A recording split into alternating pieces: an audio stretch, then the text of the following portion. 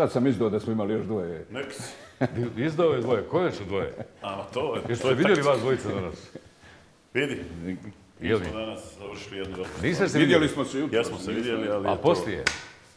Poslije dosta. Poslije glasanja. Da. Sad malo ovdje. Mi smo danas imali spremnu sjednicu Skupštine parlamenta na kojoj smo znali da će biti potvrđena vlada. A jesi bio siguran, 100%? dobro. Sigurno jesi li bio Pa siguran? ne daj Bože, dakle govorili smo, znamo s kim smo se nadmetali u ovom procesu, znamo da su bili spremni ljude otet. Z- Mi smo neke naše momke slali da ove naše fine zastupnice dovezu, Znaš ti kad je on jednom prate. rekao, ovaj, kaj, za mene kaj, još jedino čovjek hotel. Jes, jes, kad su mu nudili, kad su ga zvali, i kad su pregovarali, samo ga još nisu oteli. Ovaj, nije, danas sad to više, imena, sad zaista nije važno. Iz pričuve. Zaista nije važno, važno je bilo da su ljudi shvatili zapravo na kraju da laži koje o nama čitaju i gledaju su neutemeljene. Pratio sam Nermina kako je sad to govorio. Um, možete lagati neko ljude, neke ljude neko vrijeme, jel tako? Ali priče o izdajama, o četvrtom delegatu HDZ-a, o, o tome udovolj... Znači, to je vremenom gubilo zamah i ljudi su se uvjerili da imaju posla sa ljudima koji lažu. I od nas su zaista neki od njih bili bliže ovoj priči da je danas trebalo, glasali bi ljudi od kojih se to nije očekivalo. Ali nemojte da ih dovodimo u situaciju. Oni će možda sami o tome govoriti brzo. Sjećate se vas dvojica da sam ja vas više puta za ovih sedam mjeseci pitao, a kada SDA, tako ste vi to objašnjavali, uzima sebi ljude u Dom naroda, pa ste govorili prelazak, preletač, pa kupovina, pa kinder jaj i tako dalje.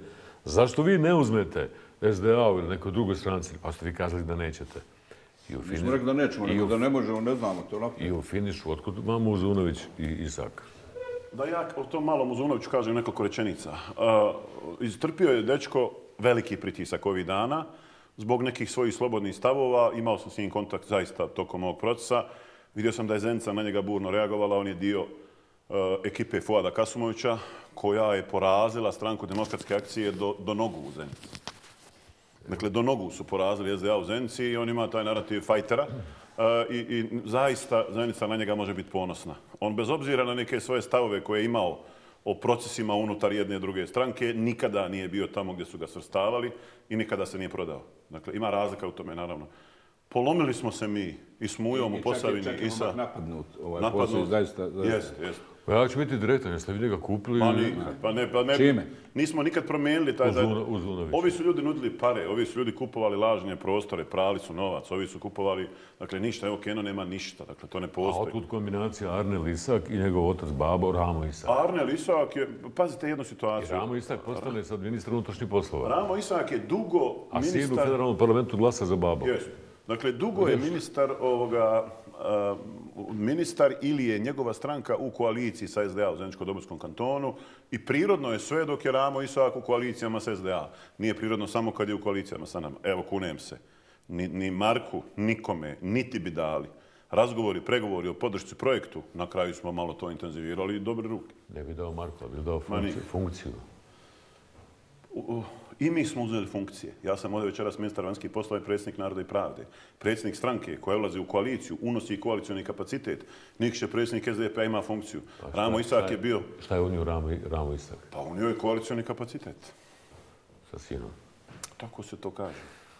Pa dobro, dobro. Ne, vidjet ćete što je priča, budimo, budimo objektivni. Kada, kada, to, to je vama SDA nametnula, kada pređu u SDA ljudi koji nisu na izborima bili u SDA, onda je to prirodno, patriotsko i tako dalje. A kada vama pređu ljudi koji nisu iz SDA nego iz NES-a, onda su izdajnici. Mada SDA nije dramila previše oko toga. Zašto? Oko ti prelazaka, oko ovoga, oko dvojice. Pa nije znala što se dešava. Ma oni su, oni su bili uvjereni da nemamo Ma ja. većinu. Bili su uvjereni da nemate Oni su danas do glasanja za dnevni red vjerovali da su ti njihovi egzekutori koji su pokupovali ljude prije kupili i ovdje ljude. Kad su vidjeli 51, Nermin je bio u To sali. si tri puta rekao, ti bio su se sali. jesu? Jesi li čuo reakciju njihovu e, Pa, SDA? mislim- kada- mislim- kad- mislim- Prva je mislim- točka bila usvajanje dnevnog reda i onda je bilo 51. Mislim da su je shvatili, bio da su shvatili da, da, da, da ima i bilo je onih komentara, eto vidite, govorio sam da ima, da ima 51, da ima... Da. Da žuriš? Ne. E sad te pitam nešto. Sedam mjeseci je bio na tebe udar, pritisak, ucijene E, samo se, i prije izbora da. da budeš sa SDA. I većina ljudi je mislila da ćeš to posto da popustiš. I ti si svaki put u ovom studiju ovdje ubjeđivao javnost da nećeš da popustiš i to. Šta je cijena nepopuštanja? U skupa je cijena, prije svega, ovaj, porodice, ali, ali snad, ja ne mogu, ne mogu izdati, mislim, neke principe SDP-a. I znaš šta ne mogu izdati? Ne mogu izdati ove ljude o kojima sam malo pregovorio u trojku, koja sam, i ove ljude koji sam spratili poput ove Alzine, Fude Kasmavića. Ja. Ne mogu, ne mogu izdati ovo, ali... Mogao ja, si rahat, zamislite mogao si koja je to izjava rahat, sad. bez njih, čak i bez NIPA. Naravno da sam mogu.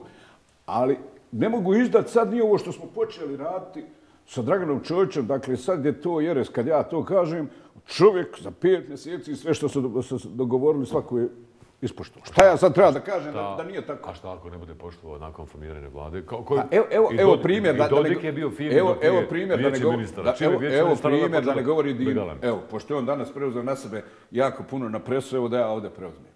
Dakle, juče je odgođena sjednica vijeća ministara. I to je bila Znate zašto je ova Zna- znate zašto je odgođena? Zašto? Prekriče smo sjedili, o tako, Jeste. Dino, ja, sa Dodikom i sa Stašom Košarcem. I dogovorili.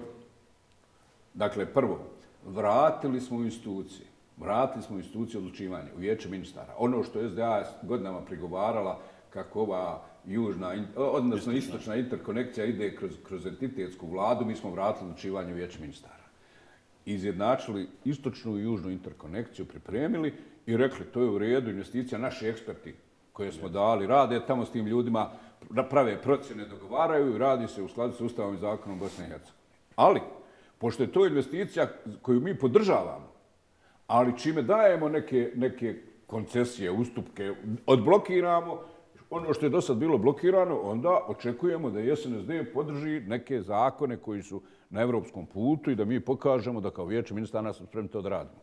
I sve smo dogovorili sa, sa, sa, sa Dodikom i sa ovaj, ministrom Košarcom. Jel oni nisu prenijeli, jesu oni misle da je sigurno. No, na kolegiju vijeća ministara, čovjek koji je iz SNSD-a je rekao da ne može ništa, samo ide a, istočna i južna interkonekcija. Naš čovjek koji je tamo ovaj, u, ime, u ime trojke, Zukan Hele, član kolega, rekao, ljudi, e, to neće moći. Ili ima dogovor, ili, nema. ili smo se dogovorili ili se nismo dogovorili. Dakle, mi smo spremni kad se dogovorimo gurat i staviti i nositi taj teret da nas napadaju da ovo ono. Zašto? Zato što smo se dogovorili, što poštujemo dogovor i što od tog dogovora će imati korist svi građani u Bosni i Hercegovini. I mi smo spremni na kompromis, ali nismo na kompromitaciju. Kompromitacija je da vi dođete i kažete mora samo ovo što mi kaže, e to ne može. Mi smo spremni na kompromis, ali nismo na kompromitaciju. Tako je. Dakle, ne može doći niko i reći bit će ovako ili neće biti. Neće biti. Pa šta, ne moramo biti. Ne morate biti. Ne moramo. Zašto? Zato što, ali ćemo učiniti sve da napravimo, da pričamo, da se dogovaramo. Šta je alternativa? Doj da dogovaramo ono što dogovorimo, da rješavamo, da se osjeti pomak, da građani ostaje, osjete napredak, da nam bude bolje. Ako nećemo, pa nikad nam nije kasno hvatati se za vrata. E, e, to, e, mi smo spremni na to. I ovi ljudi su spremni na to. I onda kako da izdam njih, kako da, da ostavim tu priču. Pa kako bi, mislim, šta da ja sad kažem, Dino, znaš šta Dino, svaka čast, evo mi imamo to, ali vidi, o, s ovima ću dobiti ovo, ja odu. Pa mislim, što... Ne. Pa svi su znali što dobija, što dobija SDP ako odeš Pa dobro, SDA. jeste, ali, ali što, što pa mislim, to, pa šta je to, koje je to, to bilo licemjerstvo, ne znam, nija, kako bi nazvao sam, ja sam sebe prinuo, mislim. Što to Kako u, politici je to? Pa bili ste sa SDA? Pa ne mogu, bili možda ja ste- ni- možda ja- Bili ste sa SDA u Pa koaliciji? ja, pa možda nisam za politike, pa jesmo, probali pa vidjeli da nije u redu, što bi sad se vraćao ponovo na to? Pa ljudi su danas zaboravili, danas oni stavljaju hipoteku, ti sa premijera, sjećamo se, prošli put kad si bio premijer, bili protesti. U mojoj stroj ste vi bili sa mnom u vladi. Jesu mene ti ljudi molili da ne popustim, da ne izađem, da ne ostanemo bez studija. O čemu pričamo mi? Kako to, mislim, danas je problem ova odluka visokog predstavnika, kao izbačen SDA. Pa 2010. je bio izbačen SDA, a HDZ odlukom visokog predstavnika. Što tad se SDA nije bunila. O čemu pričam?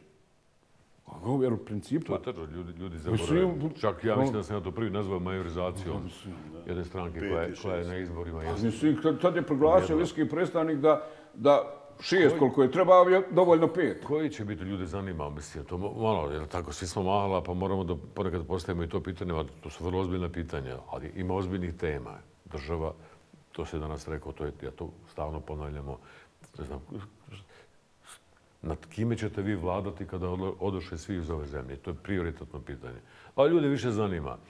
Hoće li biti prvi potez u sm- u smislu smjenjivanja direktora, generalnih direktora javnih preduzeća? Hoće li biti smjenjivanja direktorice kliničkog centra? Hoće li biti smjena? Dakle, naravno da hoće. Kad, hoće? Dakle, pa, pa prirodno da hoće. Je li došla nova vlast? Je li došla nova vlada? Je li došla nove, nove političke partije? Pa nije prirodno da ostanu oni ljudi koji su učinili sve da ne dođe ta nova vlast i koji su provodili politiku prethodne vlade. I pre... pa, mislim, da. Meni je čak, čak e, uh, 2015. godine, može se to negdje i naći, došli su ljudi sa, sa televizije da, da komentaršem jer idu u smjene uh, u, u javnim preduzećima. Ja sam rekao, ja to ne, neću da komentaršem, neću da napadam. Ja sam bio premijer. Ja smatram da ljudi u javnim preduzećima treba dijeli sudbinu vlade. Da, da vlada dovodi ekipu koja će provoditi politiku vlade i kad ide ta vlada, da ide i ta ekipa, osim ako vlada koja dođe ne želi da ti ostanu. Zato to je prirodno. Sve sam ti najavio. Sve sam ti najavio kad se govori otkud to samopouzdanje, zato što znam šta radimo Jesam mi. i svi sedam mjeseci sam uh, uh, razmišljao o tvom samopouzdanju i o Nikšićevom uh, isto tako samo, samopouzdanju. I Odnosno, korektnost. o- odnosno tom, tom principijelnosti da... Ne, mislim, pazite meni sad, formirati vladu, tako nek formira demokratski ko je pobjedio. Ali je zaista bilo previše tu pritisaka bilo i to tako. Je li ti privremena odluka Šmitova? Po meni jeste. Ma ne može biti. Pa pazi, naravno, kako nije bio je super neka poja- pojasnio. Kako nije privremena? Pa ka, evo ja imam pitanje. Hoće li moći blokirati nakon narednih opštih izbora neko onako kako je danas blokirao Šmit? A šta, a šta, to, to uopšte nije, nije, nije neuobičajeno. A šta za, za godinu, ako se ne dogovorite, kako je rekao Šmit, za godinu dana? Dobro. Što dođe taj isti Šmit za dvije godine i promijeni ovu odluku u novu trajnu?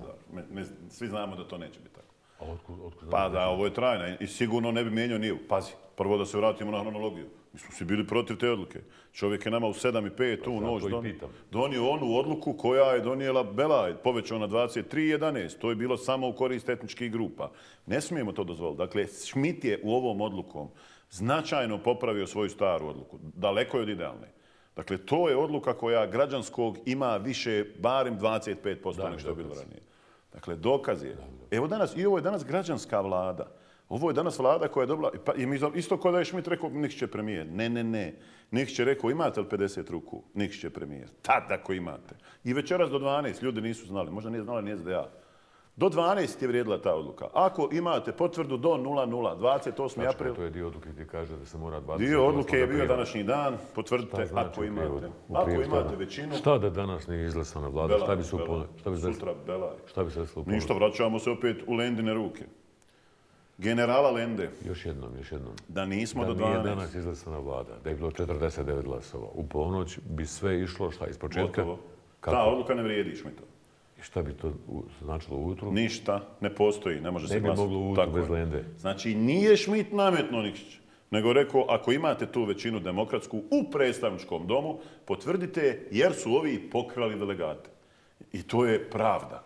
Oni su otimali, pokrali i pazi, građanski. je li jedan organ, pa i OHR, dokazao da su ti ljudi ukradeni? Ma dokazivat će tužilaštva koja smo mi sad rasteretili, da malo razveselimo ove naše ljude. Ovo je večeras velika pobjeda, pao je jedan sistem, nije pala SDA. Nadam se da će se brzo regenerirati. Nadam se, pao je sistem. To je ključno pitanje. Pravio si ovdje emisija desetine o sistemu koji neće da otkrije ubice naše djece, koji neće da procesuira lopove, koji je pokorio tužilaštva, koji vas medije, koji ste slobodno misleći pa na sve ružite, maltretira ne da novac, a daje za kuharske ove neke programe. Taj sistem pao. Večeras je fešta. Nekako smo mi malo depresivni, imam najboljeg Jeste, premijera u jeste, jeste državi. vi svjesni da ste pobjedili? Imam, a jesmo, ja sam svjestan i kažem, mi smo to obećali ljudima, to je bila naša obaveza.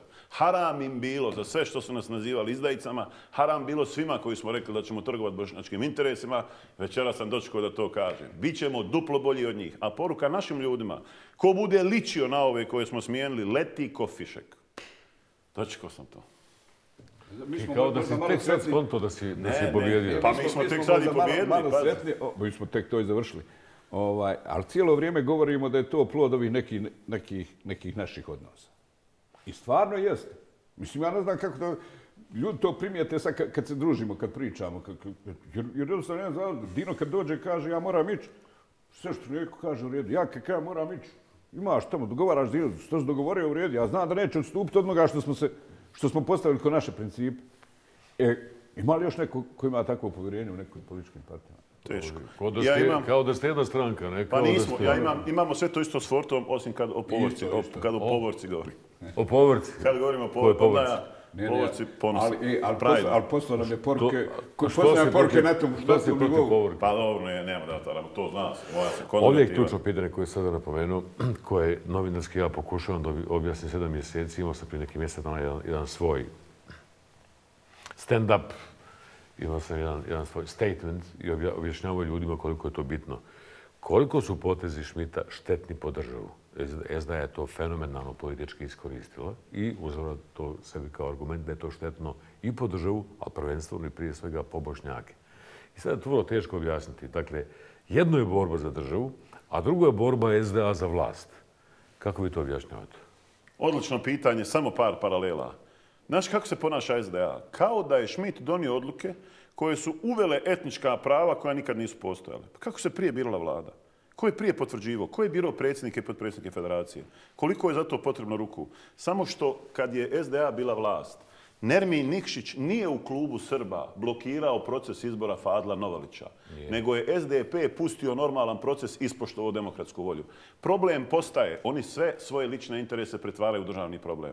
Kad postoje proste većine i kad oni ukradu tri ruke i kažu legitimni bošnjak ne da uspostav vlasti ako mi nismo unutra. Da podsjetimo gledalce, prije postojali domovi naroda, umjesto 23.11 bilo ni 17.6. U tih 17.6 Hrvati jedne godine, izgub, HDZ, pardon, izgubio vladu sa pet ruku. Sve je bilo isto.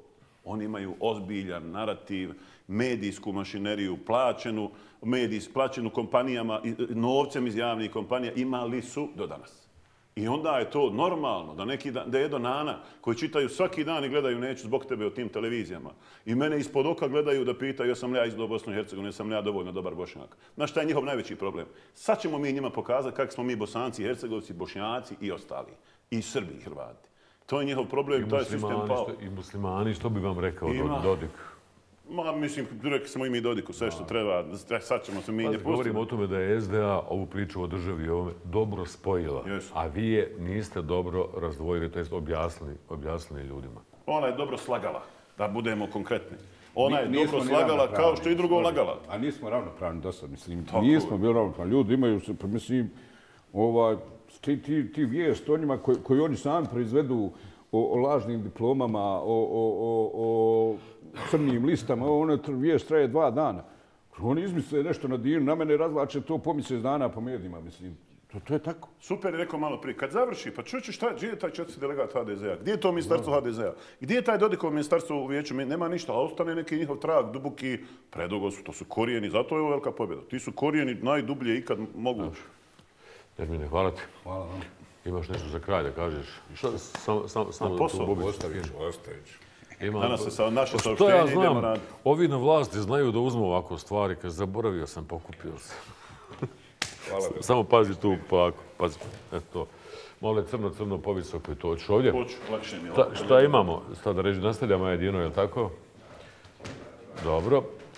Dino, ovo me zanima. E, kao ministra banjskih poslova ti pitam, ali kao čovjek, čovjeka koji je bio uključen u pregovore sa OHR-om, jesi ti znao odluku? Ne. Do same objave niko nije znao odluku. Imali smo strahove, naravno, da ona će biti samo unošenje vlade, da neće dugoročno riješiti. Tri, četiri stvari je čovjek otpakovao. Dakle, riješio je da nikad više nema takvih blokada. Ljudi, dobili smo analogiju državnog ustava. Bošnjak i Hrvat se dogovore, Srbin nije zadovoljan, idemo na veto. Srbin i Hrvat se dogovore, Bošnjak nije zadovoljan, idemo na veto. Veto je tamo 14-10, jel se nekom smiji sviđa taj broj, bolji je nego 11, ovo što je bilo prije. Dakle, čovjek je riješio, riješio, ponudio bolje rješenje, popravio. HNS je nezadovoljan. Ja ostajem uporno na tome. Mislim da je ovo kao, kao privremeno rješenje dugoročno loše po državu Bosne i Hercegovine. A puno bolje nego ovo koje smo imali. E, tako ti je. E, pa tako Ne, je, ali nemojte da mi padamo u taj narativ baš SDA.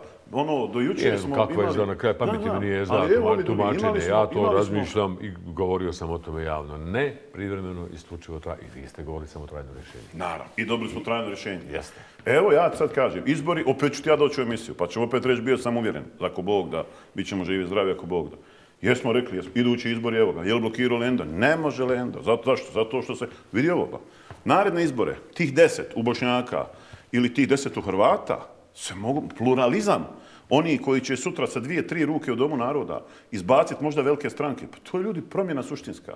I ti kažeš ono promijenit će, pa ne, nije, mislim, to bi bilo Zašto da ga... ne bi promijenili? Pa neće, zato što je donio tu odluku. Zapamtite vi ovo. Zapamtio sam, Za to je godinu, dobro. dvije, tri možda se promijeni pa da bude privremena druga strana. Recimo u tim pregovorima i s američkom ambasadom i sa posrednicima i u OHR-u. Je li tako da je u odluku donijela Amerika, ne Schmidt?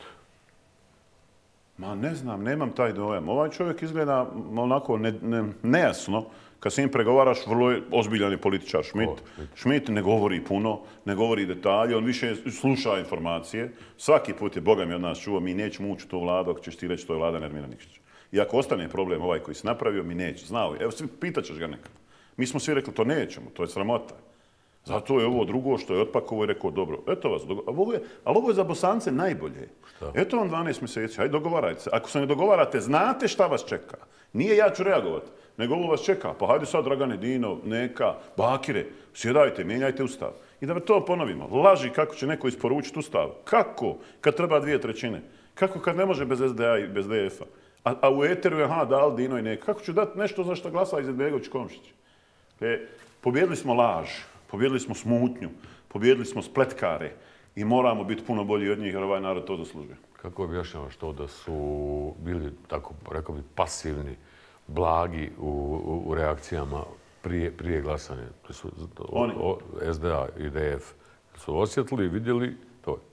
Dnevni Da. red ih je ubio. 51 na dnevnom redu bio je znak da je sve gotovo. Da je to, da je to. Ma ja, oni su toga bili. Blinken je danas, kada preskačem pitanje upadnica, Blinken je danas reagovao, to je potvrda, to je podrška OHR-u, podrška američkoj ambasadi i to je baš neobično da predsjednik, prvi čovjek, drugi čovjek Amerike u stvari reaguje i hvali formiranje entitetske vlade, regionalne vlade jedne, jedne zemlje. To je... A vidimo oni ovu dimenziju. Vidi ovu dimenziju. Deset godina kukamo, plaćemo, Što niko nas ne Amerika ne prati, javlja, nema nam Amerike, nije nam posao. I sve je tako. Ali kada, kada reaguje sumnjivo je. Ka- zašto? kaže, dobra je ova regionalna vlada. Ali zašto? Znaš zašto? Ne, ne, rea- nije sumnjivo, nego se buni SDA. Dakle, SDA ne zanima ni kad je Amerika posvećena državi, ako nije u njihovu korist.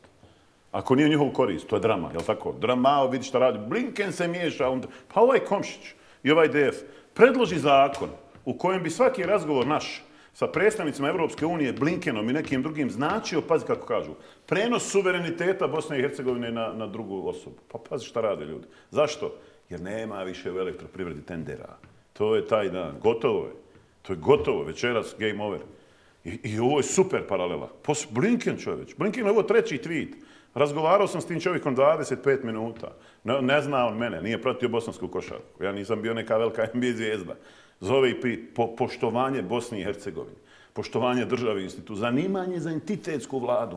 I mjesto da mi slavimo, to svijet moli, kumi. Kome god se posvijete ljudi, kaže, hvala Bogu, došla Amerika. Zašto se nije toliko zanimao za entitetsku vladu RS-a? Pa nadam se da hoće. Pa pazi, jesi. I zašto se Schmidt ne zanima toliko za entitetsku vladu RS-a? Bolje je drugo I pitanje. ja slažem se. i ja sam. Schmidta pitao ovdje. Odlično. To je intervju, više nije dao intervju poslije tog intervjua. Odlično, slažem I se. rek, pitao sam ga, alo, jeste li vi, gospodine, visoki predstavnik samo za federaciju? Slažem se. Potpuno se slažem. I prigovaram mu javno. I večeras, i stalno pri- ću. prigovor ovdje. Slažem se. Ovdje uređuje, pa, prepakira, interveniše, koristi bonske ovlasti, a u drugom entitetu A, U dijelu državne imovine, Samo u dijelu prijeti. nekih, da, u dijelu nekih drugih njihovih secesijskih ovaj, poteza, mislim da je jel, reagovao i na onaj zakon o lijekovima ili je to stavio na snage. jeste, ali ništa, on to nije suspendao, samo malo zamrznuo. Ozbiljnije reaguje po federaciji, nadamo se da će sad početi ovo drugo. Ali Amerikanci, današnji pristup Amerikanaca u, u, u odnosu prema i Dodiku i njegovoj policiji i Republici Srpskoj je energični mnogo. Poruke koje šalju,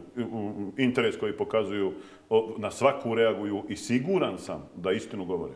Da bi danas, ako ne daj Bože krenu u neke ludorije, bilo koje za resa, zaista imao problem sa Kažete vi Amerikancima. Šmitu kad razgovarate s njim o tome? Ma sve si, dodam. šta si navalio na jedan dio Bosne, jednu, jednu regiju, jedan entitet, a drugi puštaš? Naravno da kažem. Da li vidiš šta Dodik priča i radi? Da. Pa, priča, ali radi. To, to je ozbiljna priča. slažemo se. I?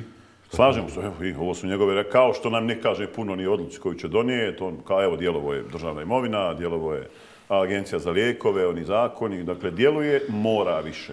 Složili smo se to. Ovo je sad ključno pitanje, vidim da ga niko ne analizira. Sada u toj, u toj zbrci, da je odluka Šmita je poštovani gledalci bila prilično birokratsko, diplomatsko, internacionalno, malo na, na, na esperanto, nekom pravnom jeziku, teško uh, uh, se može protumačiti. Sada kada ste vi danas dobili 51 glas i formirali vladu, kako vas se može skinuti sa vlasti? Teško. Eto teško, ga. teško. Eto ga. Postoji li mehanizam da se skine sada federalna vlada? Postoji, da ne pogriješim, fat, ovi mi samo snimaju što pričam, evo ga ne zna, nije znao, neću komentarsat, ne znam sve detalje, postoji. E, kompleksan je, federalna vlada se teško mijenja. Kako je ostala ovo u tehničkom mandatu? Da li isto pravilo Tako važi što- i isto pravilo važi i za vas? Tehničkom mandatu zato što su igrali ljudi naših života, zato što nisu htjeli mijenjati Fadla Novalića, zato što su se zezali, zato što nisu htjeli praviti nove većine, zato što je to bivši premijer koji ima svoje firme, koje su poslovali s javnim kompanijama, koji je ojadio sistem, koji je procesuiran i presuđen. Kaže, dajte ljude, otpakujemo stvarnu priču o Bosni i Hercegovini, a ne ovo, napali nas, ugroženi smo. Dakle, to je sramota.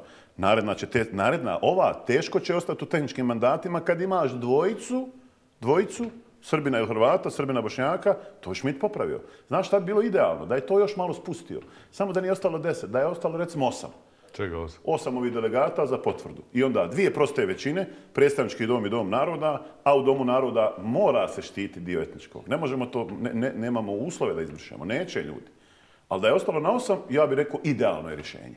Ovo nije idealno, ali je deset puta bolje nek što je bilo i trajno. je. Li Schmidt ugradio, a da to još niko nije prepoznao mehanizam ili ostavio mehanizam kojim se ne može oboriti evo, nova vlada Pa Nermina Nikšića, tako to trojke. zna, Čengić je ovdje večeras, evo, Irfan, on stvarno dobro zna propise, će on bi mogao to, on zna, po jedan od ponajboljih koje ja znam za tumačenje ovih pravila.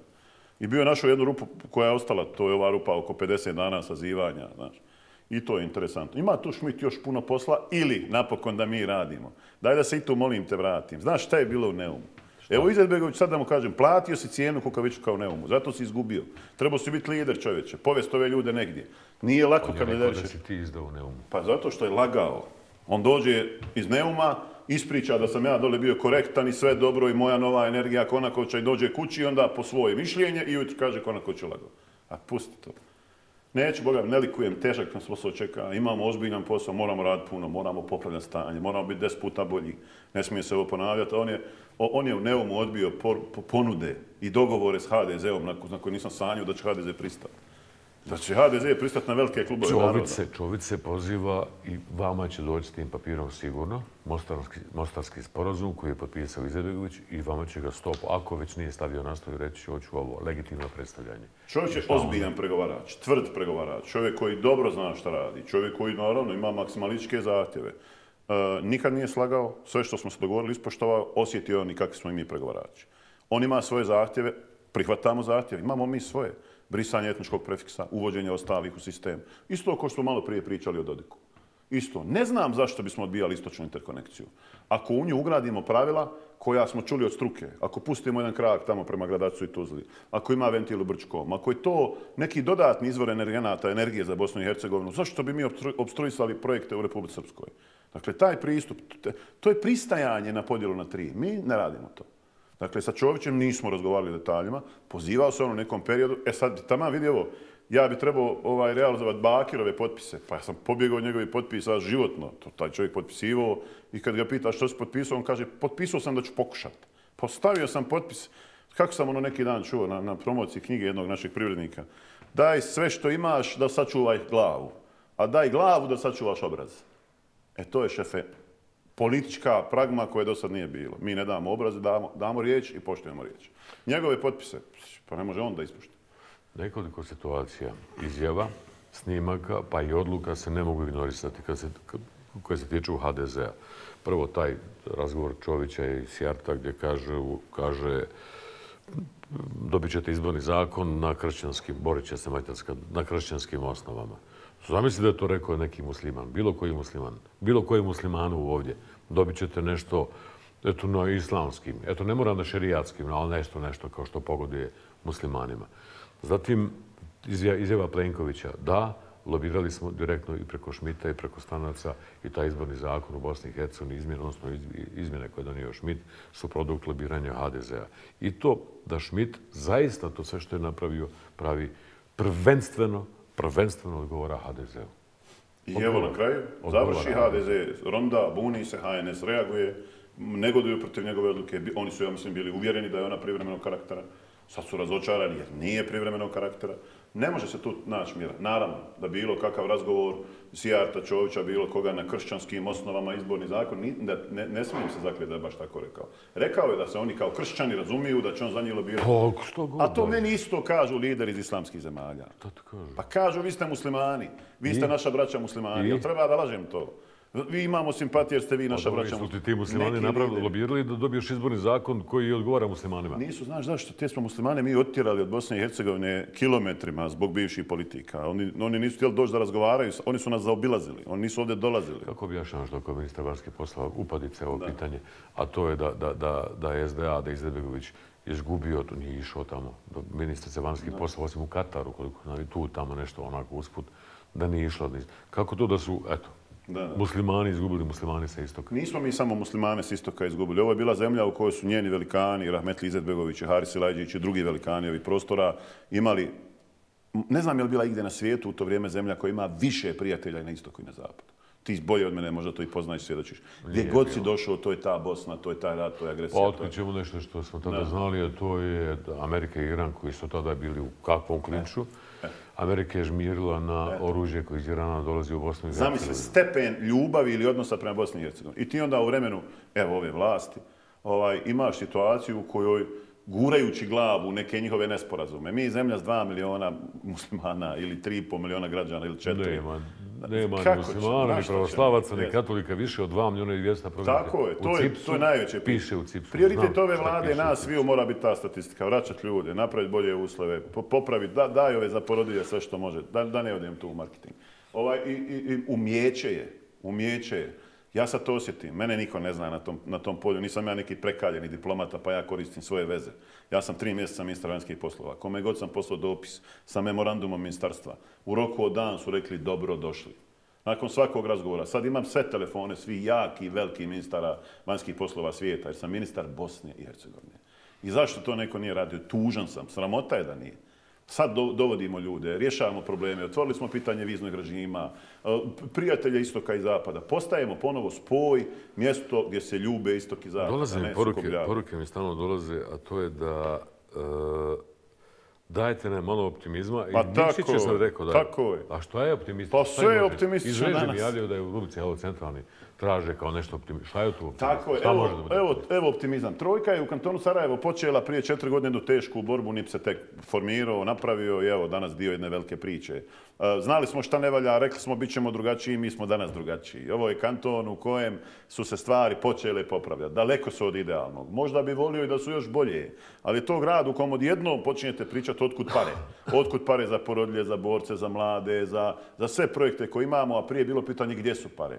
U ovoj koaliciji niko nije mogao, evo ti bi nas razgulio da si našao negdje moju firmu na nekom tenderu. Nikšćevu firmu na tenderu, Fortinu firmu na tenderu. Svi istražujete, gledate, bilo je Sumnjivo mi je što kopate ovu, ovu tračnicu za prugu. Fenomenalno je da to radite. To SDA nije, nije okrećila od, od, od, od, od rata, ni još u stvari treba. Ali preduboko kopate. Preduboko. Ma, To evo, je, to. što dublje, to više Doće para. voda. Cena asfalta na autoputu počne ga doći kad se rastegne na 50 km, stotine miliona. Šta je još optimistično? To Optimistično je dakle taj novi koncept. Odgovornost ljudi. Pazi, je- Šta je odgovornost. za građane ovog entiteta? Šta je za građane drugog entiteta? Ova, drugo, mi imamo opet Bogom danu šansu, nažalost, zbog te Ukrajine. Momentum u kom Bosna i Hercegovina ima te prijatelje koji nas vuku u evropske procese, koji kažu dajte bilo šta isporučite. Neka je otvorio tu temu. Mi da smo sad ispoštovali dogovor, nadam se da hoćemo, mislim da će Dodik trebao bi ispoštovati to što smo se dogovorili. Pa recimo da podrži taj zakon o VSTV-u, da uzmemo sukob interesa, da um, još pitanje ovog zakona o sudijama, dva, tri, četiri iz- iz 14 prioriteta u našem izvještaju u junu, julu koji se piše u Europskom parlamentu, uh, bit će pozitivna pomjeranja, približit ćemo se Europskoj uniji, dobit ćemo pristup fondovima, dobit ćemo pare. U Bugarskoj sam bio u jednoj od ovih posjeta. Prije četiri godine je prošla plata u Bugarskoj bila 400 eura, danas je 800 eura jer su u Evropi, jer su blizu izvora, jer imaju ove izvore, jer imaju novac, jer imaju podršku, mi tamo vodimo ovu zemlju. Na tom putu mora biti neka teška tema. Neću Dodik da radi sve što ja hoću. Moram negdje napraviti kompromis, neka ja, progutat nešto. Mo- a da bi ovo bio efekat, I da čovjek kaže, stani, ba, vratit ću svoje dijete, neću da mi radi u Njemačkoj za 2000 eura i troši 1900. Radit će u Bosni za 800 i ostaće mu 300. Mi to idemo ka tome. Dokazali smo u Sarajevu da to može. Dokazali da, da je bolje, da, da bude još bolje i to se trudim. Objasni mi ponašanje Efendića i Ogreševića, SBH i NES. E, Nes je potpuno jasno. To je čista dijagnoza, to su, ti su ljudi nas prevarili. Ti su ljudi prevarili. Naš čovjek u, Ukrajini, krajini, Halil moj Bajramović, on je napravio grešku stratešku jer je pregovarao s SDA. A, zna on, znaju oni, znaju svi da mi nikad ne bi išli u tu koaliciju s SDA tada. A oni su to kao iskoristili, e, izvijeni, vi ste, hoćete, htjeli ste. Ja sam javio njima da to nema ništa od toga. A onda su oni kao napravili koaliciju s SDA. I, i ovo je neka isto super rekao. Njihova cijena, njihov interes je bio samo Unsko-Sanski kanton. Uh, i htjeli su tog premijera po cijenu života. Da ti još ovo otvorim, pošto su oni takvi kakvi su. Ubili su nas, ne smije ovaj, znaš, ona ima optužnicu ovaj, pa njihov Ružnić ta ima potvrđ, jel, potvrđena optužnica, podignuta optužnica, ima proces, ali ne smeta to kad oni rede. ako uzmemo za pretpostavku da, pretpostavku su- da su pravili sebi alibi, zašto neće, u vla- ali je Dobro. ključno pitanje. Kakva je to stranka, kakvi su to ljudi ako ne ne. žele takva mjesta u Nek su federalnoj? živi, zdravi, od kakvi god su. Oni kažu nisu htjeli. Ma nisam pričao iz korektnosti, ovdje sam govorio. Iz početka su zaista bili korektni. Odbili su ponude SDA, to je tačno, ovdje sam rekao istinu. Mogli su oni od starta Šta zaigrati se tamo. desilo? Dakle, ne znam kako, taj, Šta taj, su samo politički principi, oni kažu ma ko? pa neću privremenu odluku, neću Ma kakva privremena odluka? Emrić je taj ovaj zastupnik što nas pljune malo, malo tražio tu poziciju ministra Fortunu, životom je tražio. A onda kad je nije dobio, počeli su pričati priču o državi. Dakle, oni su nama na pre... Prejaka je, Pa pregovori oko prejaka je federalne. igra, ti je moguće zna, da znaš šta odgovor, pitaću i nije dolaze i Efendić i Ogrešević, ali pitaću i nije. Ali ovo je, ostaviti takva četiri ministarstva u entitetskoj vladi, plus elektroprivredu, znači moguće da iza toga stoji jak politički Evo. princip. Evo da ti kažem. NES je završen onog dana kad je njihov taj ideolog glavni Jero Grešević gore nije prvi čovjek koji odlučuje, on je drugi ili treći čovjek koji odlučuje. Iza njega postoji čovjek koji tamo vodi sve procese, siva eminencija. Ko? Dogovorio Rifat Hozanović, koji je dogovorio sa Bakirom na nekoliko sastanaka da mu da premijera da će on oboriti vladu federacije ili usporiti. Da li on prevario Efendića, da li Efendić to nije shvatio, ne znam. Dakle, Efendić je imao ovdje, i evo, mi je onako njima dali, po oči nam vadili da dobiju ta ministarstva. Oni su stavili energetika, poljoprivreda je u prvom krugu bila nipova. Pa ja rekao Greševiću, eto ga, ako neće lagat ne kaže. Evo, druže, vama je to stalo, jest, umjesto Šemsa i Dedića, prepuštamo vam to, ajde da pravimo državu i vlast. U, borili su se životima za pozicije, a pričali o državi. I na kraju su se pro, pogrešno procijenili, Semir pogotovo. On je jutros rekao, oni nemaju većinu u tom dromu. Njegovi ljudi koji mene zovu, da me pitaju šta je bilo, kaže, on je njima rekao, ma nemaju oni većinu, ne mogu to završiti. Da, Siguran, sto, znači- pa evo, čita izjavu jutros. Da, SB također nije vjerovao da imate 50, Naravno 51. da nije. Pa pitaj ga šta je izjavio jutros. Evo sad ćete doći u studiju. Semir Efendić jutros nemaju parlamentarnu većinu koja će potvrditi vladu. Zvao sam ga preksinoć, kasno, tačno, jer ja radim 24 sata. On kaže, ma ne mogu sad, sutra sam će čuti. Precijenio Zvao sam, pogriješio. Naravno, Nakon njihove izjave. naravno. Zvao ga, napisao mu, kažem, ne shvatam vas. Jel moguće da ovo radite, ljudi? Zašto ovo radite? Razumijem nes, tako sam napisao u poruci. Razumijem nes, vas ne razumijem. Krenuli smo na zdravim osnovama. Ovdje ste ušli u, ministar, u, u kantonalnu vladu, niste nam trebali. Dogovor je bio da idemo na federalnu. Uzeli ste najjača ministarstva. Sve smo ustupke napravili, pregovarali, radili program, dali su tome doprinos. I odjednom, tu, ma ne, ne, ne mogu oni to, jel ne mogu? Pa evo, ne mogu. Kakva je budućnost sudbina SDA? Daj Bože da što brzo se prestroje, da se brzo reorganizuju. Kako se prestroje? Pa da fino se tamo, ako ima, ako ima nešto malo neke kritične mase, moglo bi biti da, da pitaju predsjednika svoje stranke i njegovu suprugu zašto ste nas doveli u situaciju da izgubimo sve moguće koalicione kapacitete, potencijale, da se pobijemo sa svim strankama, da zakuhamo s Amerikom, da govorimo o Rusiji, on mora, pred, ako ima gram obraza, on će uvijek sazvati stranku i podnijeti ostavku.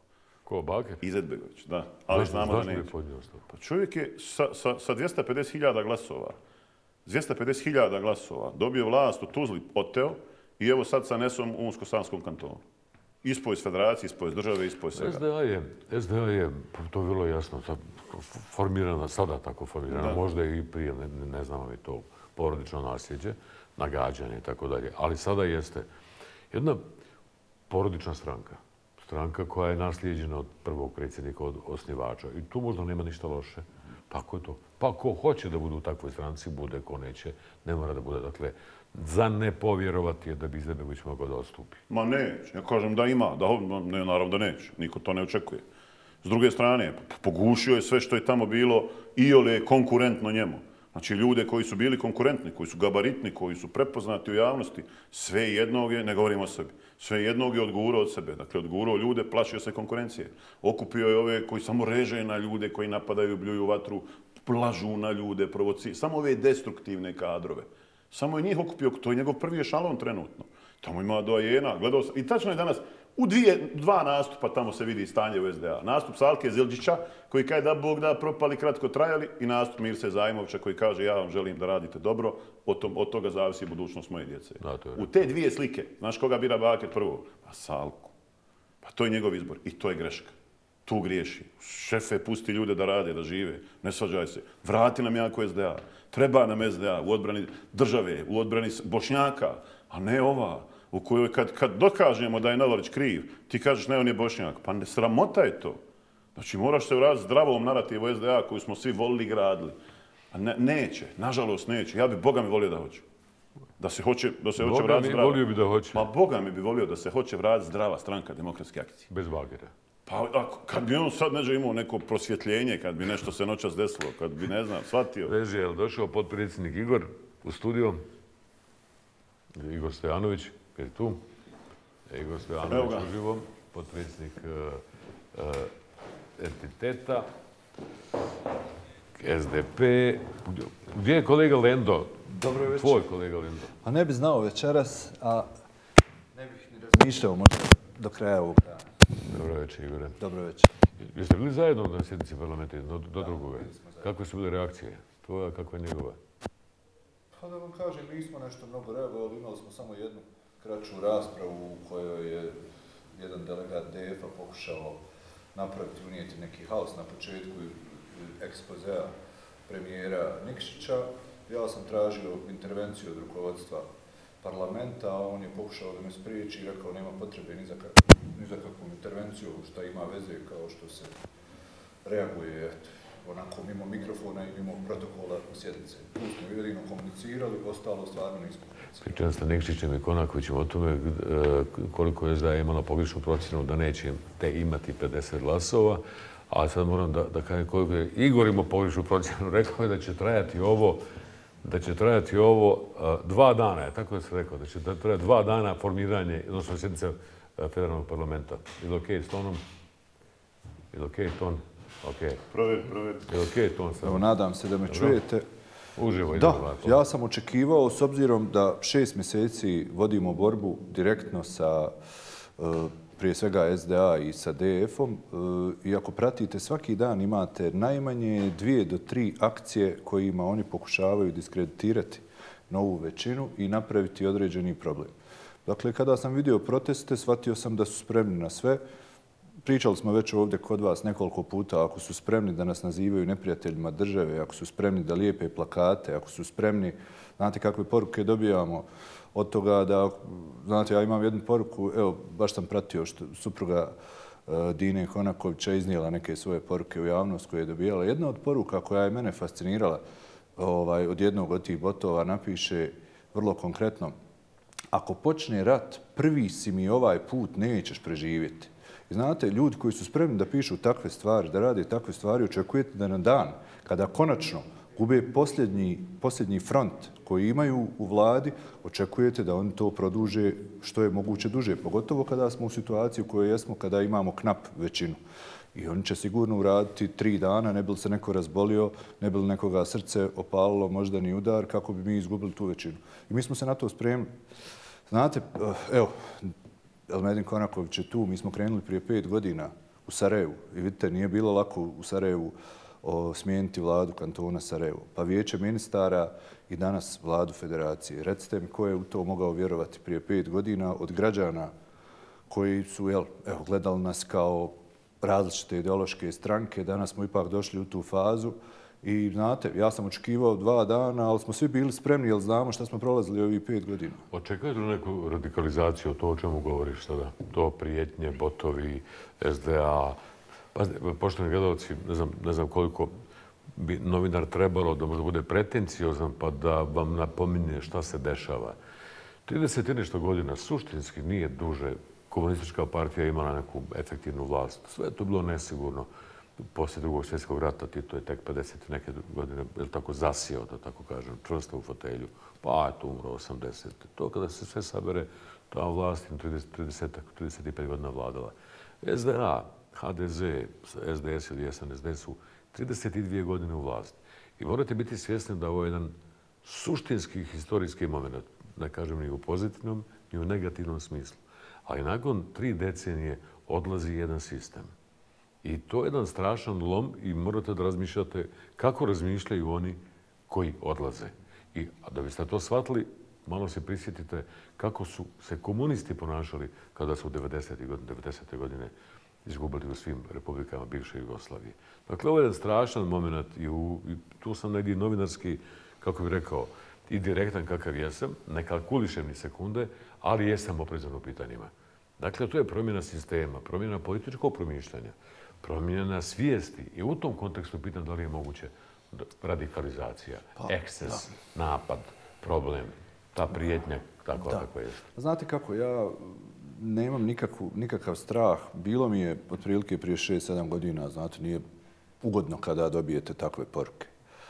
Ali kada postavite stvari u svojoj glavi onako kako sam ja postavio, a to je da imate dvije opcije. Ili ćete se boriti za svoj način života u kojem je poštovanje osnovna odrednica među ljudskih odnosa, ili ćete odseliti, onda nemate problem. I onda... Odseliš. Pa, ili od, vidite, tako su ocelili mnogi ljudi. A da, Znate, ne pričamo samo o egzistencijalnom seljenju, pričamo o ljudima koji nisu mogli da podnesu te vrste pritisaka, koji se više nisu da, osjećali ugodno. Ja mislim da odlaze najviše iz tih razloga. Ne može više. E, ja Nesigurno, danas, da. neizvjesno. Nema da, ali ako mogu o radikalizaciji, ako mi dozvolite samo da. dvije rečenice o radikalizaciji. Ja sam, mislim da mi večeras treba da budemo radosni. Završili smo jedan veliki posao i optimizam i nada koju budimo kod građana, ja mislim da je vrlo značajna. Međutim, znate, ima i jedna, ima jedna činjenica koja, je, koja se danas kroz ove proteste i kroz čitavu ovu situaciju pokazala, a koja je vrlo simptomatična. Mi smo večeras dobili ljude na protestima koji su izašli na proteste protiv odluke Šmita, koja je unaprijedila Dejtonski sporazum u građanskom smislu za najmanje 30 do 40 Mi danas mi sutra na narednim izborima možemo birati vlast i možemo konforno možda izbaciti i SDA i HDZ. Do te mjere je otvoren sada ovaj, ovaj prijedlog koji je Schmidt iznio. Sigurno u tom tumačenju. Ja, pogledajte situaciju koju, kako se je blokiralo do današnjih izbora, a pogledajte tri petine unutar svakog kluba naroda kako je Schmidt napisao kako se moraju potvrđivati veto odluke na narednim izborima. Hoću da kažem da to ne, od, ne odgovara samo HDZ-u. Pogledajte, pogledajte saopštenje HDZ-a i HNS-a. Pa dakle, reakcije su vrlo slične e, u odnosu na SDA. Znate gdje je jedina razlika? Što SDA i DF pljuju po međunarodnoj zajednici, a HNS je uspio da se suzdrži na taj način, isključivo se zaustavio na kritici te odluke. A znate zašto? Činjenica je da taj etnički prefiks u ovoj situaciji, to je ono svo vrijeme šest mjeseci koje sam ja kritikovao, Činjenica je da je gospodin Schmidt uspio da ga na određeni način amortizuje sve ono što je unaprijedio u etničkom prefiksu 2. oktobra, uspio je sada da izbalansira ovom odluku. Ja odgovorno tvrdim da mi sa nacionalnim strankama ovo što je gospodin Schmidt donio sigurno ne bismo ispregovarali za narednih, pa evo da ne budem pesimističan, 100 godina. Kako tu mačiš to je odluku? Možete zajedno voći? Ma odlično govori. Ne želim da ga prekidam u, u formi. Ma, znate kako, ne radi se, ovaj, vidite, ja sam vrlo sretan možda više zbog te odluke nego što smo uspjeli formirati vladu federacije. Ma daj. Ja vam ozbiljno govorim. Tako ja ne znam koliko... tu odluku? Pa, vidite, znate kako izgleda pa, nekome... Privremenost. Privremenost je za ovu odluku. Mi pričamo o svim narednim, dakle mi imamo početni osnov za razgovore pa, pa, u narednim 12 Možda se promijeni, pa da on promijeni mišljenje i stavi OHR i politika i nešto situacija. Kažem, pa bude... slažem se. Ja se slažem, ali ja vam govorim u odnosu na ovo kako smo imali na prošlim izborima, na ovim posljednjim. Ove uslove koje smo imali, ovo što je sada dolazi je puno više, puno građanske nego što je bilo. Ja mislim da mi to ne bismo, recimo, sa HDZ-om i SDA nikada uspjeli pregovarati unutar ustava. Znaš šta važno zaboravljamo? Šta smo važno zaboravili u svijetu one prve odluke u kojoj je, naravno, ostao fokus 23.11. U sklopu te iste odluke je Schmidt je odblokirao procese unutar uh, oba doma. I nemamo više dva zakonodavna jednaka doma. kad je brisao odredbe vitalnog nacionalnog interesa, izbrisao je ono i drugo. HDZ je danas u, u nepovoljnijoj situaciji mnogo zbog djelovanja Šmita. Sada, hipotetički, trojka ima većinu vladi federacije. Sada mi trojka ima većinu vladi federacije, deset ljudi. Možemo preglasavati, mi to naravno nećemo raditi, poštovat ćemo dogovor. Teoretski možemo Nećete preglasavati hrvatske ministre i... Nećemo, mi ćemo se svemu dogovarati i vjerujemo u dogovor. Kad, kad prođe odluka na vladi, ide na predstavnički dom, sa SDA i sa DF-om i SBIH-om i NES-om, imamo dvotrećinsku većinu. U domu naroda imamo nadpolovične većine. Ako je nezadovoljan HDZ je nekom odlukom, on se poziva na vitalni nacionalni interes. Samo na ono što piše, nema više i drugo. Dakle, rokove koje nam je dao da se materijali nalaze na sjednicama, ljudi, zaboravili smo to. Zato u tom svjetlu nije to lako pričati. Ja neću da pričam što ljudi vole čuti, to da pričamo istinu. U svjetlu ovoga što govori Igor dodatno, vjerujte, na kraju, kad je ova teška utakmica gotova, prvo dobro je da je pao taj sistem koji je mnogo, mnogo zaista štetio Čak Bosni i ključno pitanje, pričate o tome, formirana vlada sve i kaže da je utakmica gotova, sad kao sportista. Jesi ti siguran da je... Pa naravno. Pa pazi, u košarci se može dati, priznaje se koš i kada ispališ Nema, gotovo. i onda dok leti i sirena se oglasi, To se danas desilo. to se pika kao Pa vrijeme. to je danas bilo. Danas smo mi nju ispalili, oni došli na sjednicu, dok su oni okrenuli, kako Mirjana bila, ono početi kraj, paf, kuća, idete kući. E sad pazi, počinje nova utakmica, ovo je jedna utakmica. Sad počinje nova utakmica, teža, zahtjevnija, ozbiljni ljudi, projekti, procesi, nema krast. Koga vidimo ruke, lomimo. Moraju ljudi osjetiti promjenu, moramo izbiti korupciju. U Sarajevu, danas u Sarajevu, šta će se promijeniti? Svaki ministar koji u Sarajevu donese odluku, njegova odluka taj dan mora biti objavljena na, na, na stranci Skupštine kantona Sarajevo ili vlade. Sve se zna. Teško, puno teže je to donosimo ljudima. Ako Bog da vrlo brzo u cijelu u cijeloj federaciji, moj, moram samo to naglasiti, nadam se vrlo brzo već od narodnog budžeta svakoj porodilji porodiljska naknada u federaciji, ako Bog da. Uh, Igore, koliko si imao godina kada si pristupio armiji Republike Bosne i Hercegovine? 18. 18 godina. Dijeno, koliko si imao godina kada si, 17 godina i 6 mjeseci tačno, kada si ušao u armiju? kad sam ušao u rov.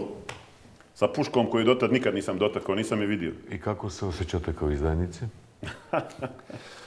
Ma da vam kažem, ja, mi stalno o tome pričamo, ovaj, kako se osjećate kao izdajnici. Možda se zato i ne bojimo. Ovo je, znate kako, nas dvojica smo odrasli u Sarajevu, znamo se dugo, igrali smo košarku zajedno. A znate se to dok ste bili Pa klinci? naravno, to je Ozbiljno? opšte poznato. Kako to ne znaš, tu Ne znam priču to. o našem Ma drugarstvu. kako ne, pričali smo, ja znam, mislim, čak, su, čak sam i ovdje jednom spominjao.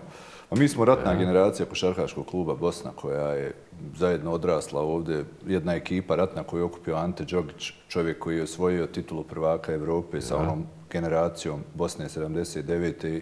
i u jednom trenutku 93. svi igrači iz košarkaškog kluba Bosna su bili iz opštine Centar u ratu i trenirali tu.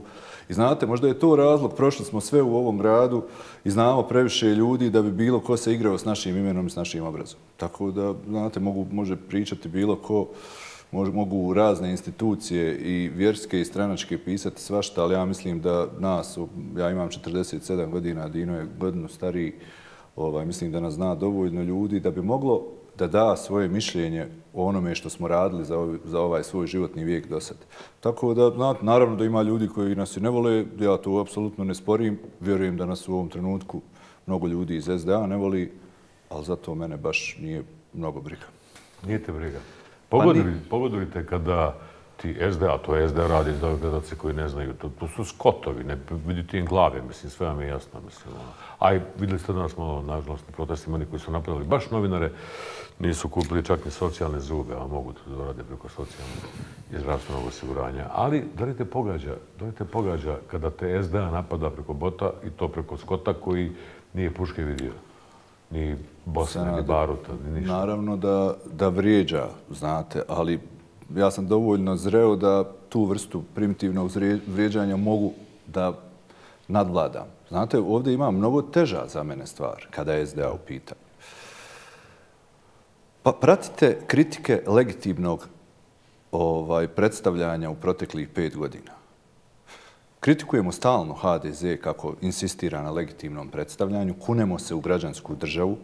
Mnogo ljudi SDA-ovaca misli da SDA se bori za građansku državu i to onda dođete u situaciju u kojoj 12 delegata i jedan iz DF-a koji može odlučiti da li osmorci da ponudi jednog bošnjaka, da, da se ponudi parlamentu, da se glasa za dva bošnjaka, zakuca gospodina Lendu i bude 13. delegat u grupi SDA i onda se kompletna SDA koja se bori za građansku državu kune u tih 13 delegata bez jednog drugog mehanizma, pričajući kako su samo oni predstavnici Bošnjaka, da nije Konaković, da nije Nikšić, da nije Forto, da nije ni jedan drugi Bošnjak osim tih 13. Dakle, to je identična priča i u ovom trenutku, možda čak i još gora nego HDZ-ova. Za mene je to izdaja principa građanskih za koje smo se borili i, države koja bi trebala da bude jednako prava. Za slobodnu, demokratsku, nezavisnu, Vidite, suverenu, e, toga Republiku Bosne i. Hercegovine. Zbog toga sam tužan danas, znate. Zbog toga sam tužan, jer danas smo, znate, mnogo se je do sad to uvijelo. Znate, vi danas imate transparent građanska, a onda tamo stoje gospođa Sebija Izetbegović i bivša ministrica vanjskih poslova u kojoj se poziva Tekbir i Allahu Ekber. A stoji građanska. Ja veliki plakat bio na Pa znate, je. evo molim vas, možete li mi reći, dakle, nemam ništa protiv Tekbira odmah da, da se ogradim od ljudi koji Od čitavog ovoga- intervjua ćete samo to vjerujem, zapamtiti. Vjerujem, dakle, zato to i govorim. Da, zato to i govorim. Dakle, stvarno nemam ništa protiv. Ali građanska država podrazumijeva neke e, podrazumijeva norme u kojoj je jednakopravnost odrednica. Znate, danas bi za mene građanska država ispred parlamenta trebala da bude hoćemo Bošnjaka i Hrvata iz Republike Srpske u predsjedništvu.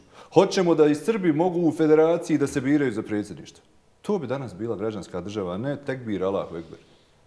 Moje je mišljenje. I ja ću se za to boriti dok vjerujem. Možda će i mene otirati, znate. Ja, Borba je takva, ali... Samo ja ovom izdajniku kažem par rečenica, ovaj, a može on o meni, o Stojanoviću. A, o, o, U ratu smo ti jednom, ovaj, igrali smo zajedno za KK Bosnu. A onda smo dobili poziv za omladinsku reprezentaciju Bosne i Hercegovine u to vrijeme. Ovaj, odeš u rov i dobiješ poziv zančan, jer se dešavala neka liga. I ode on na Treskavicu, na teren. Ja vam to sredio neko iz SDA. Jes, tada su nas govorili, baš njega su pogotovo govorili zbog imena i prezimena. Ovoga, I ode on na teren i ošiša se načelavo, a pusti bradu. I vra- i vrati se ono dozgo, on je bio na Treskavici. I mi idemo, idemo u Italiju s reprezentacijom mladom, u Komu igramo neki turnir i on je na spisku, treba da ide. I znaš kako, i tad je bilo svega. Zadnji dan ne ide, on ide neko drugi. I on gore, pri to znam, znači to su na, naša mladost. Kopa rov gore, znaš, i sluša tamo na radiju. Konaković 14, Jašarević ovoliko, ona je ovoliko. Ja se vratim. Ovoga, s te turneje, ja idem na Nišće 42 dana u zemlju u rov, a on ostane u gradu. I mi znamo to i onima, onama to ljudi znaju. I ne može, znaš, trezoraš, meni to nikad uzeti, niti mi ne može nabaciti ono, na, taj narativ izdajnika. Jer se meni javi cijela brigada na Facebooku, znaš, pa kaj, hoćeš da mi negdje idemo, a neću. Samo je, vidi, ali hoću da kažem tu stvar, pa da ja idem, s tvoje se raspričam. Ovaj, e, e, važno je poslati poruku da to u Bosni i Hercegovini ne pobjeđuje. Ja idem u džamiju, ja klanjam, ja sam bošnjak. To ne radim kao politički marketing. To je moj odnos s Bogom, nije moj odnos s tobom i s Igorom. Dakle, a oni su to pretvarali u ovo drugo. I malo prije smo pričali, znaš, Amerika, interveniši, molim te, čuvaj državu, osim ako ne diraš stranku. Molim te, vjera, sve je okej, osim ako nije mimo stranke. Mora, Bošnjak, to mora promijeniti taj narativ. Trezora, što govoriš o Bakiru. Ja govorim o Baki. To je zanimljivo kako on to svoje uh, trezorašenje Da. preko botova uh, spinuje, a to je da su svi bili u podrumima, to nisam znao nego kolege sa televizije Bosne i Hercegovine, kolegice, one to prate te društvene mreže i kažu da smo sada mi na televiziji, pa i ja, bili na TV BiH podrumaši. I onda sam ih pitao, pa postoji li podrum na, na TV BiH? Onda sam skontao da je u stvari studio C, dakle smo radili dnevnik, pravljen tako konceptualno, najvjerojatnije zbog ratnih razloga, ako napadne neku Jugoslaviju, da bude pod zemljom.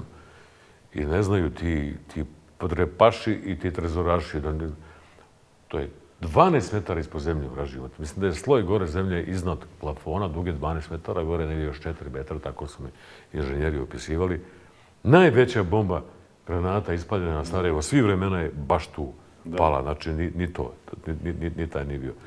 I ona, ona kompenziraju tako da je neko bio ono, kao privilegija je, pljujući, napadajući mene, stvari pljuju tako, to je hrabre ljude Tako je. i mojih preko 40, čak, čak nikada niko nije napravio spisak koliko naših radnika, ja znam da je preko 50 prijatelja, kolega poginulo za tu televiziju. I to izdajice govore, a zapamtite, poštovani gledoci, svaki put ću vam to ponavljati dok bude trebalo ponavljati, bez detalja, vele izdajnici. Kada saznate koja je to vele izdaja, nećete vjerovati isto kako danas ne možete da vjerujete. Treba za nevjericu, treba je vremena da uđe u glavu. Samo Lažu molite još ovo, još ovo, ista tema. Lažu. Ista tema izdajnici, ovi vele izdajnici nama. Mi odemo na turnir sa KK Bosnom iz, u, u sred rata. Mi dobijemo dozvoli Stojanović, ja, naš Zlatko Morati Šećer. Trojica četvrca nas smo bili stariji od 18 godina u tom kakav i svi u, u- na linijama, svi. I izađemo iz, iz, iz Bosne i Hercegovine opkoljene, uh, Sarajeva opkoljenog iz BH, kroz tunel, na, na avion u Split, u Bari. Kad smo došli, samo tu anegdotu, došli smo tamo u, ba, u Bari iz Splita u neki hotel i ljudi, u švedski sto bio, došla djeca iz Bosne i Hercegovine. Jednom bio švedski sto i nikad više nije bio švedski sto. Budemo tamo, odigramo sve utakmice, 40, 50 dana i vratimo se kroz tunel u Bosnu i Hercegovinu na linije. On je bio jedan od najglasnijih da se kuće vrati. Mi smo svi bili na polju. Ti bi ostao. Pa ne, ne bi, ne, ne, da sam ti ostati, ja bi ostao. I moja, moja sestra živi vani. ja Ali Igor insistirao da se vrati. on je najglasniji bio. Dakle, to je činjenica. Ajmo kući, kući, kući. Bio i zaljubljeni, majka i sve, i borac i država. I on takav, ja takav, i mi koji smo više puta izlazili. I vraćali se i tukli se, išli na linije, oni kažu izajice. Haram im bilo i stiglo ih je ovo što su lagali. Mogu da ići. Samo još ovo za kraj. Biće, biće Irfan uh, Čengić gost u ovoj ti emisiji kasnije. E pa, o- e pa zato, zato vas pitam da, da li vi ovo možete da protumačite, Mhm. ti Igore. Uh, dakle, on kaže ovako, on najavljuje novi haos u federaciji, to što ja pitam, jeste vi sigurni. Mhm. Dakle, znači on dobar sagovornik to, ali komplikuje vražiju mater stalno. I ona je izazovan novinarski tako. On nikad nije optimista. Traži, traži gdje je problem. Kaže, nova, i nađe ga. Nova Šmitova odluka ostavlja mogućnost blokade federacije i svih deset kantona ako to bude željelo 14 hrvatskih delegata. Jasno je da za šest mjeseci neće doći do izborne reforme Ustava Bosne i Hercegovine, jer Šmit ne može intervenisati na Ustav BH, a mi nemamo dvije trećine u parlamentarnoj skupštini BH i samo jedan jednog od pet bošnjaka u Domu Narodno parlamentarne skupštine i tada nastaju novi problemi. Komplikuje, ali šta... Evo samo jedno pitanje. Šta? Je li ovo što on govori bilo moguće prije blokirati? Je li moguće prije? Evo, Vjerojatno izbor. Evo isto. Je li ovo što Irfan govori, sve tačno govori, da li je kod saziva vlade Fadla Novalića, da je tada Bradara odlučila da ne da saglas, ili nije bila, ko je bio predstavljajući? Predsjednik federacije, Čavara, evo, ko je bio? Čavara da je je odlučio da ne da je saglasnost, sve bi ovo bilo isto. Nismo mi pali. Mi smo se malo digli, možda i njemu nedovoljno, i meni je nedovoljno, ali bolje nego što je bilo. Blokade. Blokade su i dalje moguće na svim nivoima, jer je ovo takva zemlja. Zemlja etničkog i građanskog, u kom dominira etničko. Mi u NIP-u zagovaramo balans etničkog i građanskog. Nama je po ovom Šmitovom sad malo bolji balans, a nedovoljno dobar. Rješenje je vrlo jednostavno. Dogovor. A to je dogovor, ali prije do, ali dogovor da se prvo Dayton ukine, jer on bit će ukinut. I ovo je popravljanje mrtvaca, mrtvog. Se. Je šminkanje Nadamo se. mrtvog, mrtvog ugovora. Tako je, tako je. To Nadamo treba se. ukinuti. Ja. Eto ga. Sve hvala Igor. idem.